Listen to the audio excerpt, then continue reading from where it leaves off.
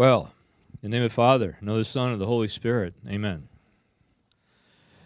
Jesus, we thank you that you've revealed yourself to us. We thank you that because of the gift of your Holy Spirit, we can truly pray with faith and with love and say with all our hearts that Jesus Christ is Lord. We ask you to be with us tonight, Lord. We know that you made a promise that wherever two or three gather in your name, you're there. And Lord, we've certainly gathered in your name today, and we want you to be here. We want you to be our Lord. We want you to teach us, you to console us, you to challenge us, you to move in our hearts, you to give light to our minds and fire to our hearts. Amen. Well, just like Father Stephen almost told you about Pete Herbeck falling asleep in class, I actually could tell you about Father Stephen almost falling asleep in class. uh, Father Stephen was actually in a night class with me uh, not too long ago, and uh, he didn't fall asleep. and he's a good student, and Pete's a good student. So part of my work is with Renewal Ministries. That ID 916 is one of the many things that we do with Renewal Ministries, and part of my work is at the seminary, uh, teaching there. It's a great seminary. Well, the topic for tonight is time, talent, and treasure. And I told Pete that I don't think I can really do a decent job on all three of those things in a half hour.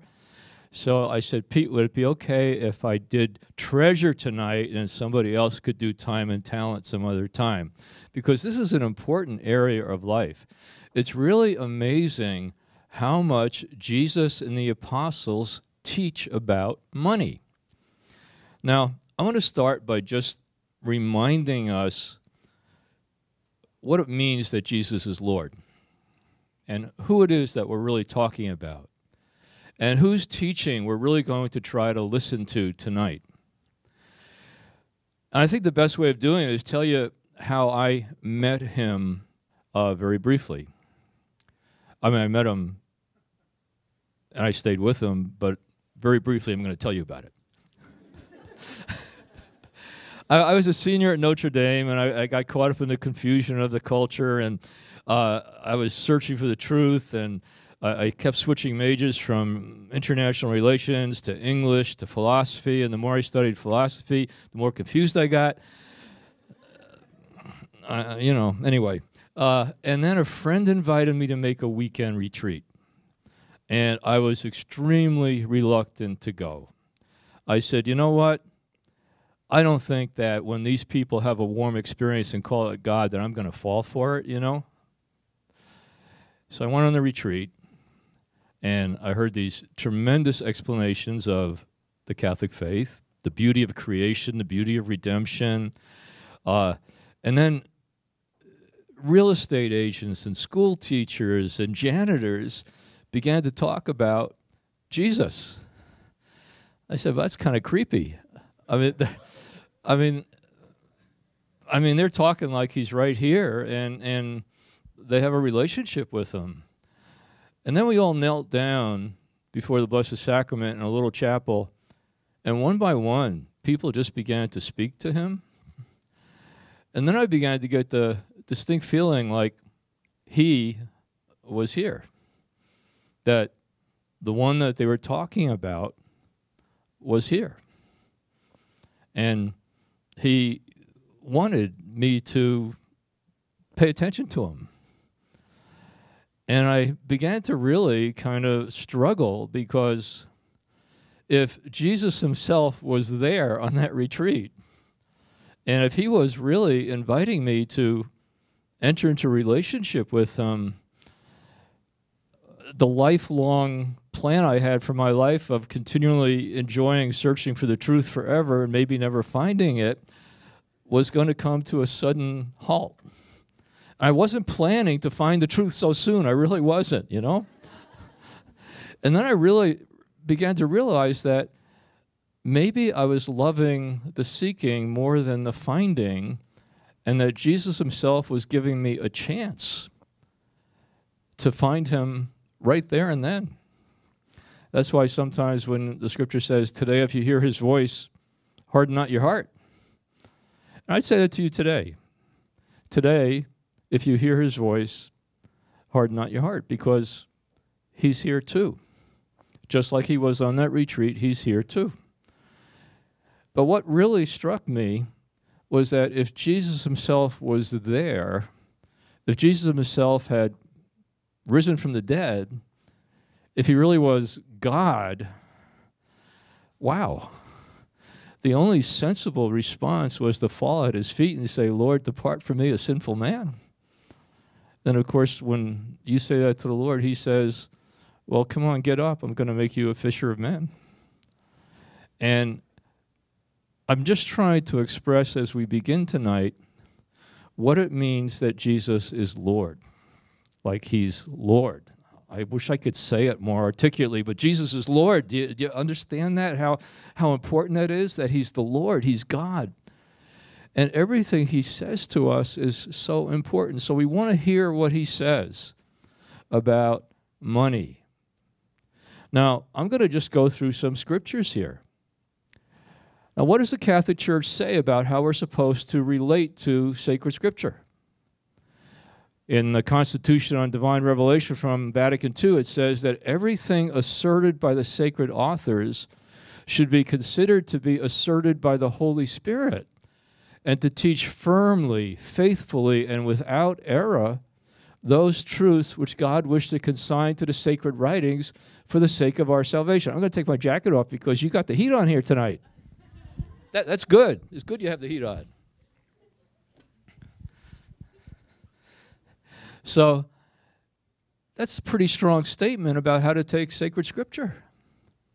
Everything asserted by the sacred writers should be considered to be asserted by the Holy Spirit and to teach firmly, faithfully, and without error those truths which God wished to consign to the sacred writings for the sake of our salvation. So this is here for our salvation. And this is coming from the Lord, and this is coming from the Holy Spirit. Now, one of the greatest competitors to the lordship of Christ, spiritual writers pick out three things. They talk about money, sex, and power. These are strong drives in human beings. They're strong, almost unconscious desires that lead us in a certain direction, and they're competitors to the lordship of Christ unless they're in harmony with his lordship. So one of the things it means to be a disciple, one of the things, the pillars of, of ID 916 conversion is ongoing conversion, ongoing bringing our life more and more into harmony with the teaching of Christ, with the person of Christ, more and more wanting Him to be Lord of our life. And it doesn't happen all at once. It really is a lifelong process. I'm still finding parts of my life that I'm opening to the Lord that I didn't know was closed to the Lord. There's just more and more and more that's possible in terms of our union with the Lord and our surrender to Him. So let's take a look at money. Let's take a look at the treasure part of that time, money, uh, time, talent, and treasure. Matthew chapter 6, verse 24. This is Jesus talking. No person can serve two masters. He will either hate one and love the other, or be attentive to one and despise the other. You cannot give yourself to God and money. One's going to be the controlling thing in your life. It's going to be God or money. Mark chapter 10, verse 23, similar passage in Matthew chapter 20, 19, verse 24. And these scripture passages I'm going to be sharing with you tonight aren't things that can be absorbed in an instant. There are things worthwhile meditating on. There are things that have to kind of take, take root in our minds and hearts with the power of the Holy Spirit. Jesus looked around and said to his disciples, How hard it is for the rich to enter the kingdom of God. Of course, the disciples were shocked at this. They said, Well, Lord, who could be saved? And Jesus said, Well, with man, it's, it's impossible. But with God, we can find a way. We can even find a way for rich people to get into the kingdom of God. So we can do it with the Lord. And there's lots of scriptures about instruction that the Lord gives to those who are rich. 1 Timothy chapter 6 verse 10. The love of money is the root of all evil, And some men, in their passion for it, have strayed from the faith and have come to grief amid great pain. So it isn't that money is the root of all evil, but the excessive, disordered love for money becomes the root for all evil because people start cheating they keep they start lying they do unjust things they they cut corners they make deals things like that. Luke chapter 12 verse 15 avoid greed in all its forms a man may be wealthy but his possessions do not guarantee him life so one of the things that Jesus is teaching his disciples is you got to hold on to wealth a little lightly, just like you need to hold on everything into your life a little lightly. You need to keep giving it to the Lord. You need to keep surrendering it to the Lord. Greed is actually listed as one of the serious sins that can exclude people from the kingdom of God. It can become that serious. 1 Corinthians chapter 6 Sometimes greed is likened to idolatry. Colossians chapter 3, verse 5. And here's Paul's basic advice about our money, our attitude towards money. We brought nothing into this world, nor have we the power to take anything out of it. If we have food and clothing, we have all that we need. Those who want to be rich are falling into temptation and a trap. They are letting themselves be captured by foolish and harmful desires which drag men down to ruin and destruction. One more passage. This is a challenging passage. It's also a liberating passage. It's a life giving passage. Hebrews chapter 13, verses 5 and 6. I bet you didn't know there was something exciting in Hebrews chapter 13. Keep your life free from the love of money and be content with what you have. What? Be content with what we have. But hey, we hardly have anything sometimes, right? Some of us here hardly can pay our rent, right? Some of us here can hardly pay our tuition. Some of us here can hardly afford to pay insurance on our car, right? How can somebody in that situation be content with what they have? I mean, if we were Tom Monaghan and owned Domino's Farms, we could maybe be content with that, right? But listen to this Keep your life free from the love of money and be content with what you have because he has said. So, what has the Lord said that can make us content with what we have? This is it. I will never abandon you, nor will I forsake you. Therefore, we can confidently say, the Lord is my helper. I will not be afraid. What can human beings do to me? You know, some people say, you know what, I, I know the mayor, I can get your parking ticket fixed, you know? Or, you know, I, I know the guy who runs the gas station, you know, next time they have an energy crisis, you know, I, I think I can get some gas for us, you know? Or, you know, I, I know somebody who can get you into law school, you know? But you know what? We all know the Lord. And that's more important than knowing the mayor or the gas station owner. We know the Lord. And you know what the Lord has said to us? I will never abandon you nor forsake you. And you know what that does for us? It gives us a freedom and a joy and a confidence so that we can say, The Lord is my helper. I just kind of one up the guy who had knew the mayor, you know? The, the Lord is my helper. I will not be afraid what can human beings do to me? A Christian can't lose, right?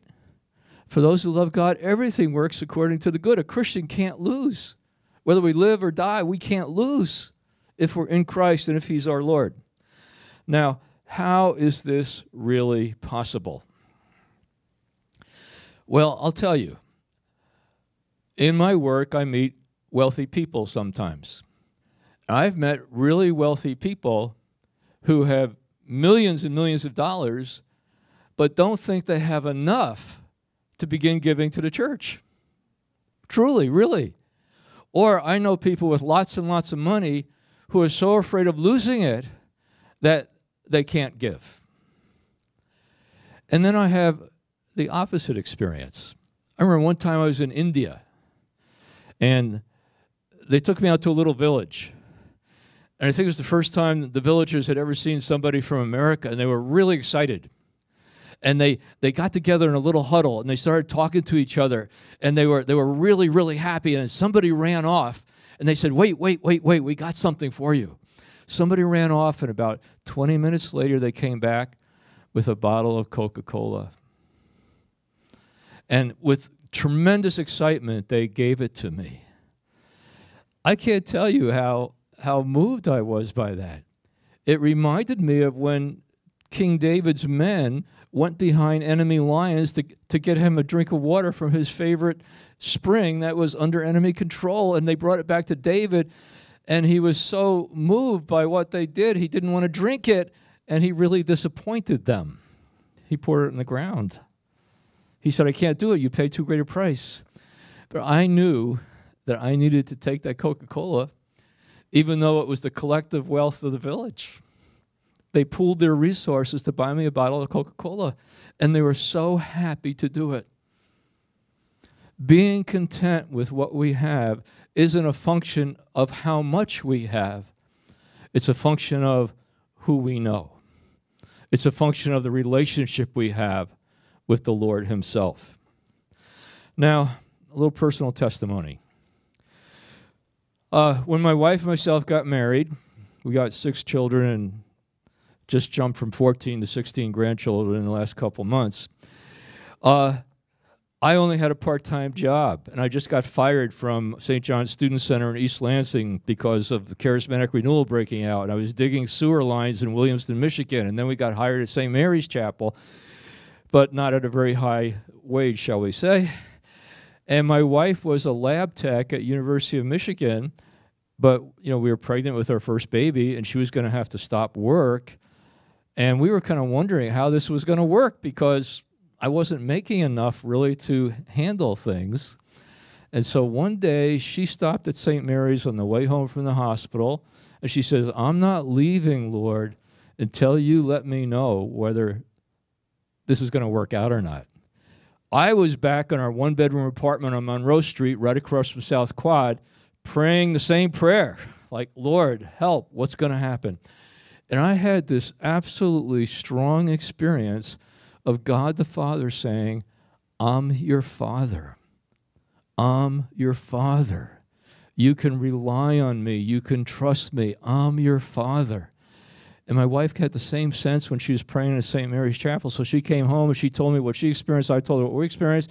And we didn't know how it was all going to work, but we knew that God the Father had assured us of his care. And hey, you know, we're, we're not homeless, you know, we're, things are working out, you know, we're, you know, the Lord's blessed us in so many different ways. But I remember sitting on the floor of our apartment right above Campus Corner Drugstore on the corner of State and Packard.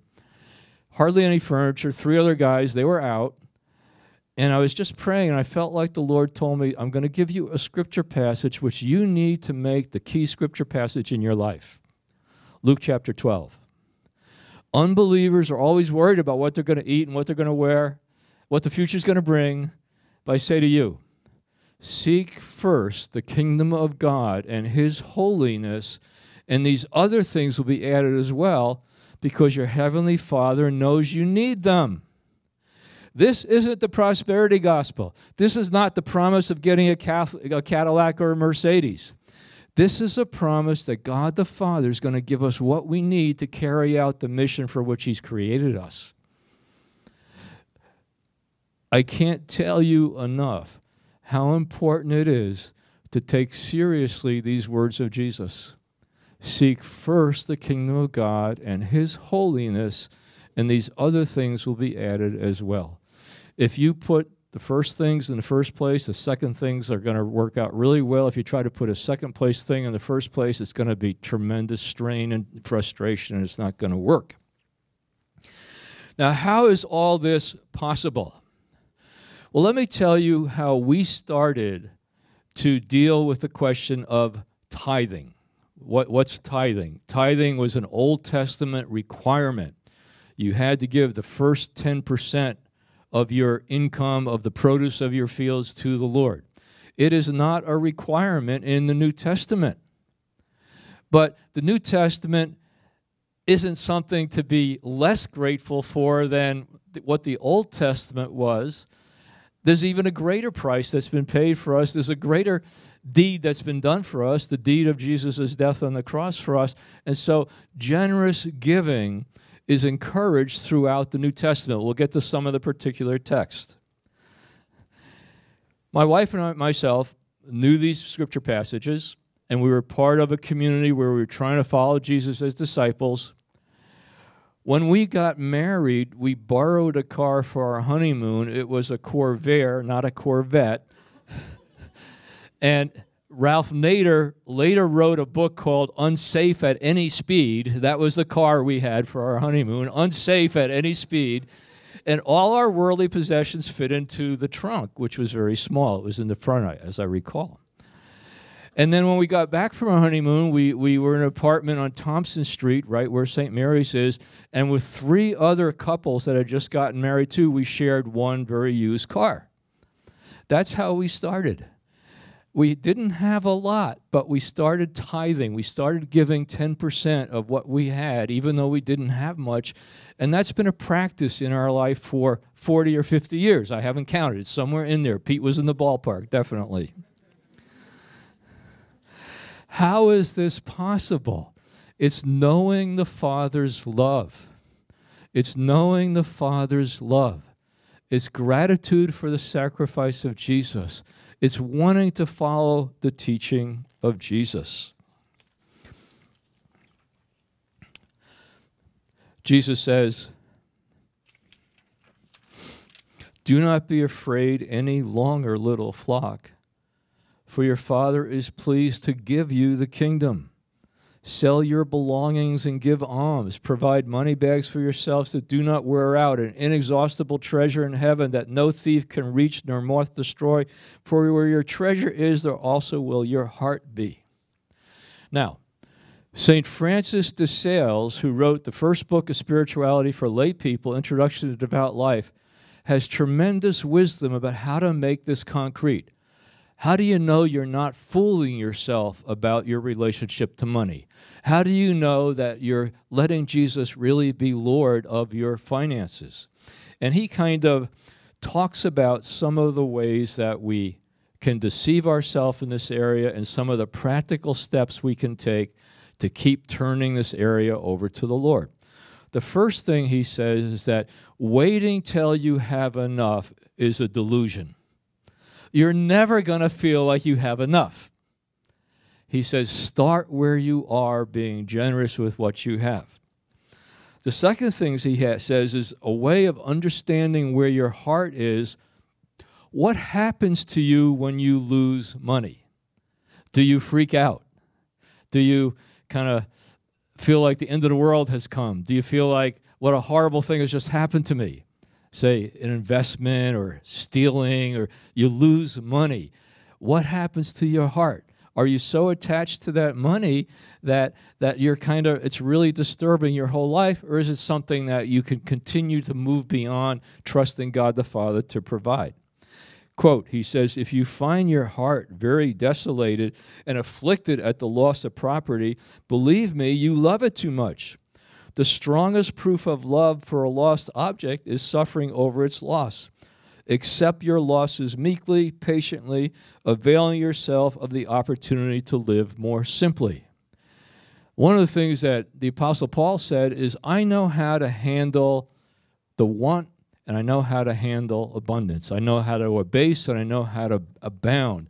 A certain detachment, a certain freedom, a certain kind of leaving in God's hands, whether He's going to give us a lot of money or not. St. Catherine of Siena says, The Lord gives a lot of money to people who He knows can handle it well. And if, if He's not giving you a lot of money, it's because He maybe is caring for your soul, that you, may, you wouldn't handle it so well. Now, obviously, this isn't a, a universal principle. He's talking about those who are disciples. Another thing Francis says, he says, You are truly avaricious if you longingly ardently, anxiously desire to possess goods that you do not have, even though you say that you would not want to acquire them by unjust means. I'm taking this from uh, chapter 10 of, of The Fulfillment of All Desire. Last time I was here, I, I spoke on that. I know a number of you have read it. It's, it's about growing in freedom, and he has tremendous stuff about, about money and other things. Now, Scripture also has advice to people who are wealthy. 1 Timothy chapter 6. Tell those who are rich in this world's goods not to be proud and not to rely on so uncertain a thing as wealth. Let them trust in the God who provides us richly with all things for our use. Charge them to do good, to be rich in good works, and generously sharing what they have. Thus, they will build a secure foundation for the future for receiving that life which is life indeed. There's another interesting place in Scripture, Romans chapter 12, where it says about all the gifts that the Holy Spirit gives to the body of Christ. One of the gifts, besides teaching and prophecy and administration and helps, is the gift of giving money generously. Now, because Renewal Ministries is dependent on donations from people who believe in our work, we've met some amazing people over the years. People who pray each year in January about what the Lord wants them to do with their money and how much they should give and who they should give it to. And we've received a check from people like this right on the day we need that amount. They just are tuned in to Jesus being Lord of their resources and they're giving under the guidance of the Holy Spirit, and they're a tremendous blessing to the body of Christ. Some have the gift of making money and giving it generously. Now, There's a saying that I've heard over the years that you can't outdo God in generosity. Malachi chapter 3, verses 8 to 12. Dare a man rob God? Yet you are robbing me. And you say, How do we rob you? In tithes and in offerings. Bring the whole tithe into the storehouse and try me in this, says the Lord of hosts Shall I not open for you the floodgates of heaven to pour down blessing upon you without measure? So the Lord, through the prophet Malachi, said, Come on, guys, don't, don't stint on what you're giving to the Lord, you know? Try the Lord. See, see if you can outdo him in generosity. Bring the whole tithe into the barn and, and see if I don't open for you the floodgates of heaven. Proverbs chapter 3, verses 9 and 10. Honor the Lord with your wealth with the first fruits of all your produce. Then will your barns be filled with grain, with new wine, your vats will overflow. Again, the you can't outdo God in generosity. It's a biblical principle. Luke chapter 6, verse 38. Given it shall be given to you. Good measure, pressed down, shaken together, running over, will they pour into the folds of your garment. For the measure you measure with will be measured back to you. 2 Corinthians chapter 9. He who sows sparingly will also reap sparingly, and he who sows bountifully will also reap bountifully. How do how does my wife and I handle this? We try to give 10% of everything that we receive. We divide it roughly 5%, 5%. We give 5% to the parishes that we go to. We do go to more than one parish. Uh, and we try to reflect our giving by the proportion what we what we go to, uh, and then we give the other five percent to uh, ministries that that have have blessed us or are blessing other people, and uh, and then we give alms sometimes too. You know, like beyond the ten percent, like anyway, and then we're also helping uh, grandchildren who have parents who don't have a lot of money go to Catholic school. So, you know, we're just trying to pass on what the Lord is giving us. And I, I, I have to tell you, sometimes I'll look at our checking account, I'll say, where did this money come from? Honestly, I mean, I remember in the early days when we were really very, you know, experiencing a lot of blessing of the Lord. Uh, sometimes we'd be serving meals, you know, we thought we didn't have enough food, but honestly, the food was multiplying. It really was. And, and it will sometime. It just, it just kept coming. And sometimes I'll look at our checking account and I say, where did this come from? Now, maybe I could figure it all out, but I don't think I could. I, I, something's happening. And let me just end with, with an example of something just happened recently. About a year and a half ago, um, we got a fundraising appeal from a ministry we know in New York City, in the Bronx. And they, they serve people uh, physical needs and they also evangelize. And they have this humble little newsletter, you know, no color, no real designer, you know, uh, kind of mimeographed, kind of, you know, poor newsletter for a poor ministry. And, and they're talking about their needs. They say, you know, we need $200 to give Bibles to kids that we're, we're serving on the streets of New York. But we just had a terrible setback in what happened to us. Uh, our whole computer system was, was stolen. And we need $5,000 to get it all back together again and hire somebody who can do that. So normally when my wife and I get an appeal, we, we, we talk together and we usually come up with the identical amount. We both have the same sense about what we should give. So she asked me, What do you think we should give? I said, I think we should give $200 for the Bibles. I said, What do you think? She said, I think we should give $5,000 for the computer system. I said, Oh. I said, We don't have that out of current income, you know? We'd have to take it out of retirement savings. She said, Take it out of retirement savings. So I, I honored her sense of what we should do, you know, erring on the side of generosity. A lot more than the $200 I felt we should give. So wrote a check of $5,000, sent it off. Two days later, we got a telephone call from St. Louis Center in Chelsea for developmentally disabled children, and we, we donate there too. And we uh, uh, we bought some raffle tickets, you know, and and so we got a telephone call saying you won the raffle for the Alaskan cruise, and it's worth seven thousand five hundred dollars. We said, you, you got to be kidding. What, I mean, this is a joke. Who's calling, you know? it was, we had bought raffle tickets, I think in this room at a Legatus meeting for an Alaskan cruise. And we've always wanted to do an Alaskan cruise. And this was like a super duper Alaskan cruise. You know, it was the cruise and it was the land thing and going to Denali National Park. And so $7,500. And all we could think of is, you can't outdo the Lord in generosity. Just amazing. It doesn't happen like that all the time, but I can't tell you how much the Lord has blessed us, like He says He will bless those who follow Him as a disciple. And I'm not holding myself up as a model, I'm just a guy trying to pay attention to what Jesus says and understanding that it's the Lord who's speaking to us.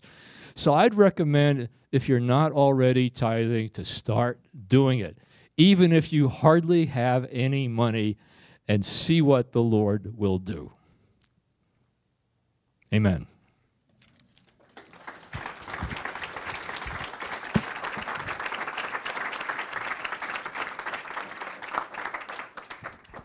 Thank you very much, Ralph. I always feel inspired after hearing your words. I'm like, gosh, who can I write a check to now? I want to go to Europe. Just kidding.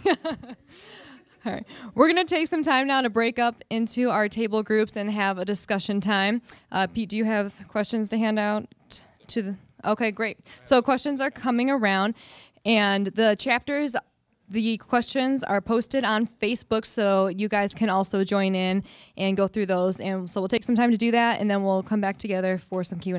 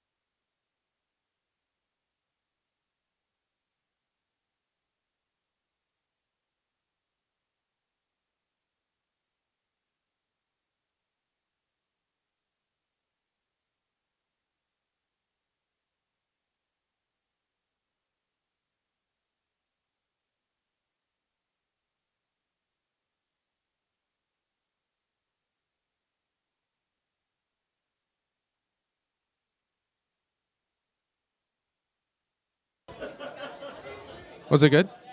Oh, good. Yeah? Very good. All right, we're going to bring it back together so we can have some time to ask Dr. Martin some questions. So, if you have any questions out in the live stream world, please tweet us at ID916 and we'll we'll do our best to get to them. We've got about 10 to 12 minutes for for questions, give or take, 2 minutes.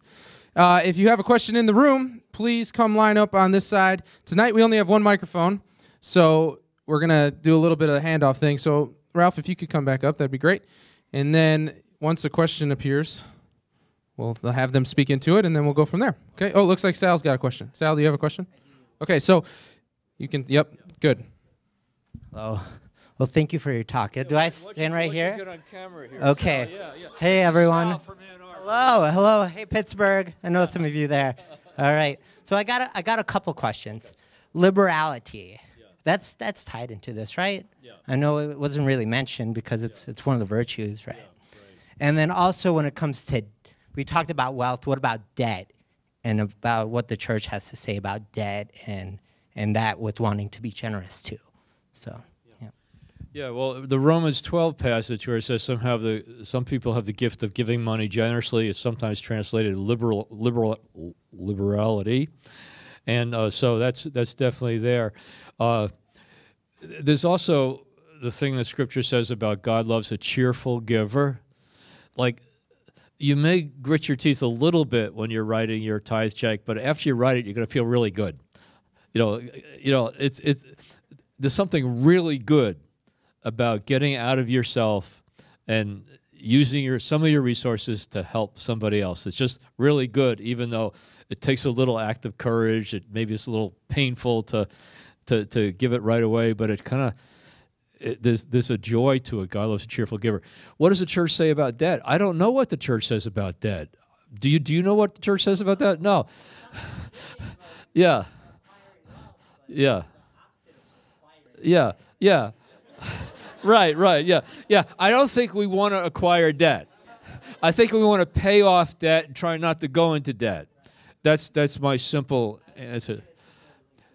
Yeah, I, I don't know. I'd have to take a look at that, you know? Yeah, yeah.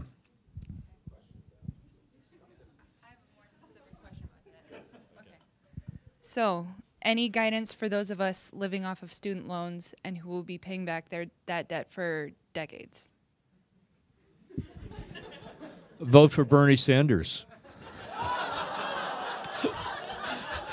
no, I'm just, I'm just, you know, doesn't Ber- Bernie says that nobody's going to have to pay for education, right? You know, I, I'm just kidding. I mean, you know that, don't you? Really? yeah, yeah. Well, you know, I. Th- who wants to answer her question? You know, who has student debt and, and who wants to say something to her? I think you just kind of pay it off as best you can. You could extend payment, you know, and I mean, we incurred the debt, so we should try to pay it off, right? I mean, that's that's what we should do. And yes, it's you know not a great situation, but we borrowed money and we should pay it back. And um, you know, ask the Lord to provide you enough money to pay back your debt. You know, I have a feeling that that there's something more personal here that you want to talk about that I, I can't satisfy. You come up here, Joey. Come on up here. Come on up here, Joey. You, you, you- no, that's okay. You, you, you, yeah. I, I you know, I, th- I think you understand her question better. I don't know how to be generous in the mid- yeah. Yeah, yeah. I don't know how I ended up here. I feel like I'm the guy. I'm the guy that was walking down the street of the party and they just pulled in. Um, no, it would seem like that if you had like those of us who are in debt, which is probably almost everybody in this room, that they've accrued from from school in some way, um, or a house and stuff like that. I don't know. One thing strikes me, Ralph. Let's just have a conversation about this. One thing that strikes me is that debt in nowadays, as opposed to 40 years when you were our age, is probably not the same thing debt is just kind of for better or for worse it's a it's just another bill that you have to pay you know it's not it's not really debt like mafia kind of debt where it's like I better my kneecaps are going to be smashed if I don't pay this off. Um, so I don't know. In a certain sense, it's just you, you. It's like if it's just another bill to pay, then you just kind of lay out all your finances. Um, still give God the first fruits, and if that means you have to fully pay off your debts five years later in your life, or even ten years later, I don't know. Um, but I I also feel like th- this is a certain way in which we can uh, really make radical and real the faith that God no one gives out, outgives God in generosity. Um, that like we, we won't be um, we won't be uh, drowned in that debt. Um, yeah, it won't it won't drown us even if we do decide to tithe. Um, but I think bottom line, it's just another bill to pay, and so you can still it's just, just like just like anything else, it's like a grocery bill. So you can tithe in the midst of it. Those are my very humble thoughts. Isn't it amazing what a guy you just drag in from the street can say? Yeah. Uh, let me say one other thing, and I, I don't, I don't want anybody to abuse this, but if if you don't have the faith to do ten percent, start start lower. You know, if you if you comfortably can do five percent, but you just don't have the faith to, to do ten percent, start start with something. You know, uh, I was just giving a, a talk in Florida at the Legatus National Summit, and Rick Warren was there. You know, some of you know him. He, he wrote The Purpose Driven Life. He's got this huge church in California. He has 400,000 ministers that he's mentoring. He and his wife started off tithing, but they decided to increase it every year of their marriage, the percentage that they were giving. Some years they could only increase it by like 0.2 tenths of a percent, you know? But now they're up to giving 91% of their income and keeping 9%. So it's just so inspiring to run into people like Rick Warren. But if you don't have the faith for that, or you don't have the faith for 10%, start with what you feel like the Lord's giving you the grace for and, and do that. Hi, Professor Martin. Do we need to have people on camera? yeah. Oh, oh yeah, okay. All right. We want, see, this is Colin from Ann Arbor. Yeah. Hi. Okay. Hello. Uh, so, Dr. Ralph Martin, uh, this this quotation from the letter to the Hebrews sounds kind of uplift, uplifting, but when I ponder it, to me it seems like an empty promise from God when He says, "I will never fail you nor forsake you," because He doesn't have to do anything to keep this promise. Um, what I mean is, we could die a miserable death, having given all our money, and his promise, he would still make good on his promise because he has nothing to do, except for maybe, um, or maybe he's already done it. And maybe our, our reward is nothing but heaven. So, is there anything? Can we take this promise as any? That can we? Can God make good on this promise while we're on earth? Yeah, I think the promise is about while we're on earth. The promise is about right now, being content with what we have right now, and knowing that God's not going to not give us what we need to carry out the purpose and mission for which we've been created. There's other promises too. It says that anybody who's left, you know, brothers or sisters or family or fields for my sake is going to get a hundredfold in this life. You know, so all these promises are about blessings in this life. I mean, they're, all about. Uh, the Lord says, "Try me, see if you can outdo me in generosity." It's about it's about being blessed in this life. It can be abused though because we're not giving to get, but we are going to get. But we're not giving to get. We're giving to worship God. We're giving to show gratitude to Him. We're we're giving because Jesus is asking us to do practical things that will show that our heart is not wrapped around our, our riches, but this is all about blessing in this life.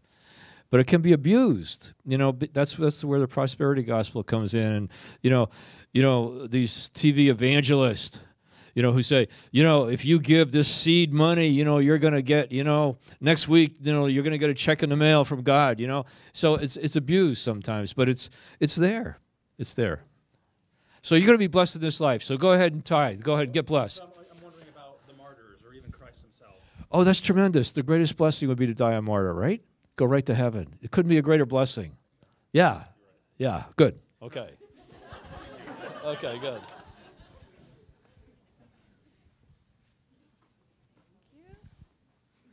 Hello. Hello everyone. Um, for those of you that don't know, my name's Bethany. I I missed the name tag. I don't know how, but I, I don't have one. So I'm Bethany. Anyways, Ralph, my question for you comes up with uh, regarding where do you where do you draw the line? So when I look at my life, I think of all of the blessings that I have. I mean, I have a roof over my head, I have food to eat, I have a, a great car, it's reliable, I have enough money to take care of myself and my friends and and be generous, but but could I live in a shack and, and drive a crappy car and and and not have like five pairs of clothes, just one, you know? I have more than five pairs of clothes.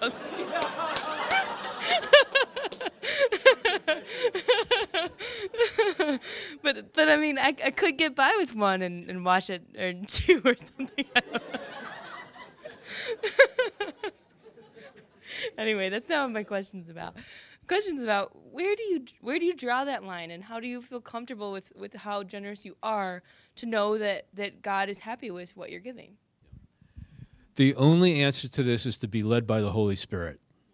There's no rule or principle, there's no one answer for everybody. It's trying to keep your heart open to the Lord so the Lord can inspire you and move you. And you've made a good point, though. The folks in this room are living at a higher level of living standard than almost every generation in the history of the world. We have indoor plumbing.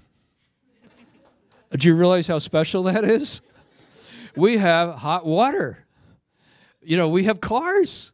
You know, I mean, we have, you know, I mean, we have clothes, you know? I mean, like it's it's like I mean, we are we are uh, people these days sometimes don't think they can get married unless they already have enough money for a house and they have this you know done and that done. They can't have children until they've saved up $200000 because they read on the internet that you need $200000 for every child you know to educate them. It's not true. We never had $200,000 before we had babies, and they're tremendous, and the Lord blessed us with them, and it's a great blessing. So, but but how you should live in your standard of living is something you need to just keep submitting to the Lord and be guided by Him. And if you, there's a basic peace in your life and uh, things like seem like they're working like they should, you you need to dress a certain way for your job. You know, you need to dress a certain way to relate to people and all that kind of stuff. If you wore sackcloth and ashes, people might not pay so attention to what you're saying anymore or something like that. So, be led by the Holy Spirit. Thank you.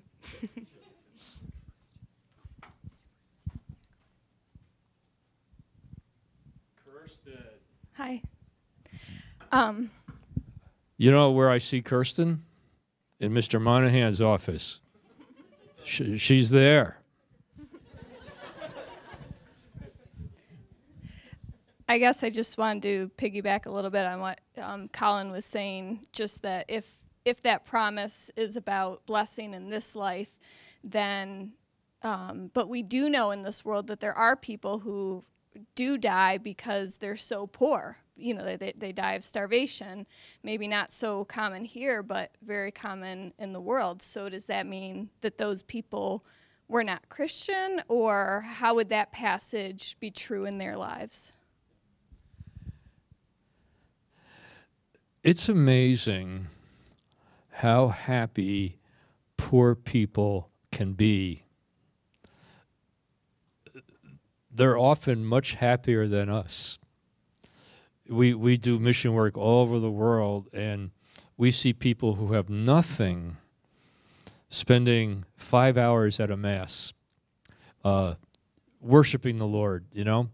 Uh, yes, there's diseases, there's illness, there's premature death, but life is short. And there's only one thing necessary. Your life is a tremendous success if you die in friendship with the Lord. Your life is an incredible failure no matter how much money you have and how long you live and what prestige and jobs you have if you die an enemy of the Lord, an enemy of the cross of Christ. So we, we, we, we can't judge justice, we can't judge blessing just by whether the person lives a long life or not, whether they have money or not. It's it's their life is a success if their heart is with the Lord and the Lord is giving them everything they need for as long as they need to live in order to to love him and to serve him. So I can't answer all those questions, uh, but there's um, the thing I come back to when I can't explain things is that all his ways are true, all his ways are just, all his ways are fair, all his words are are reliable, and so I believe uh, that God is absolutely just and absolutely generous with every person on the face of the earth, and I can't demonstrate that, but I, I, I know it's true. And when we get to the other side, when we get to the other side, we're not going to have any arguments whatsoever with how God did things. We're going to just fall down in absolute amazement at the incredible plan of God, his incredible generosity, and his incredible justice, and incredible mercy. For sure, for sure. It's all going to make sense in a way that it can never make sense completely on this side of the veil. Okay.